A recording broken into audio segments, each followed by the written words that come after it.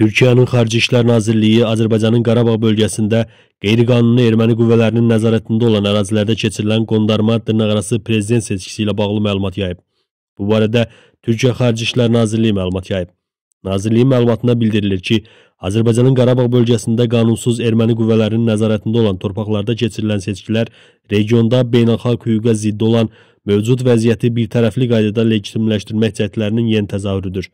Bu addım beynəlxalq hüququn, o cümlədən BMT Təhlükəsizlik Şurasının qətnamələrinin və ATƏT-in prinsiplərinin açıq şəkildə pozulmasıdır.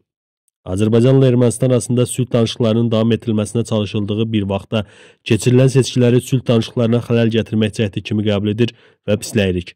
Türkiyə Azərbaycanın suverenliyi və ərazi bütövlüyünün pozulmasını təşkil edən bu qeyri-legitim seçkini tanımır. Biz BMT və beynəlxalq ictimaiyyəti bu seçkiləri tanımamağa çağırırıq.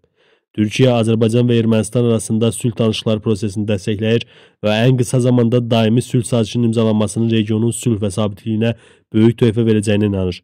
Qeyd edək ki, Arayi Kartunyanın istefasından sonra Samvel Şahramanyan bugün Qarabağdakı erməni quldurlarının yeni başçısı olub.